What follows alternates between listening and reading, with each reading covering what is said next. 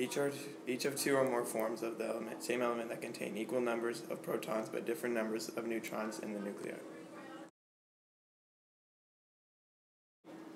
Most elements have at least two stable isotopes. The term stable means not radioactive.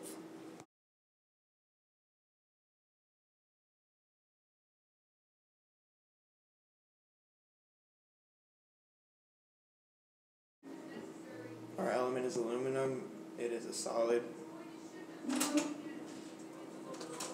Its group is other metals. Its atomic number is 13. Its symbol is A, capital A, lowercase l. Its mass is 26.8. And its electron activity is 1.5. The isotope Al26 has 13 protons and 13 neutrons.